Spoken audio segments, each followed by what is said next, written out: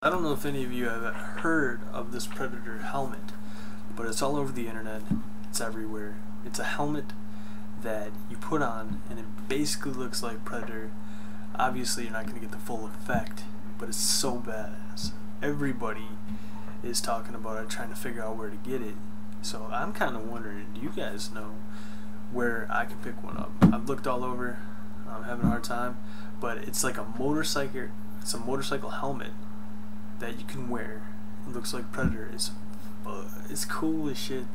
So if you guys are looking to find one, um, and I happen to figure it out, I'll put a link below. But until I find it, I I can't do that.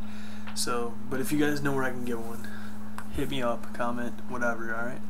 Thanks a lot, guys. It. I mean, look at it. Look at these little red lights. This is all cool. And then another thing, like if you've seen the movies, the more recent movies are pretty cool too. But the original movie, if you were a little bit older, you seen that, you you know how cool it was. So Predator's a badass movie. Even the first one was badass. If you haven't had a chance to check it out, definitely do that.